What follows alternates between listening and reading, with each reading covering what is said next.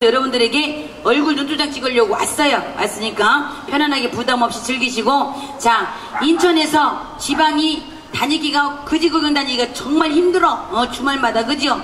그런에도 불구하고 자 이렇게 인천 좋은 자리에서 저희를 이렇게 자리를 해주신 자이 관계자 여러분들 대단히 감사하고요. 그래도 고마워.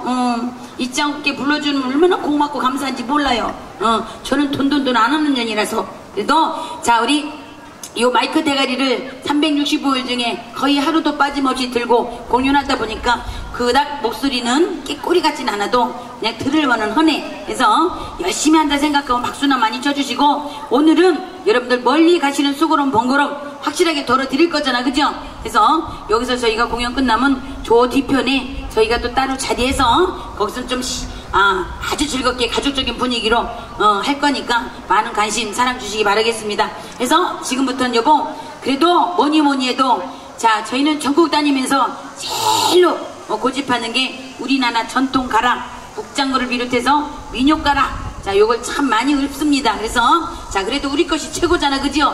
그래서 여러분들에게 자 민요 가라 한 곡 올려드리도록 하겠습니다. 차리어 경리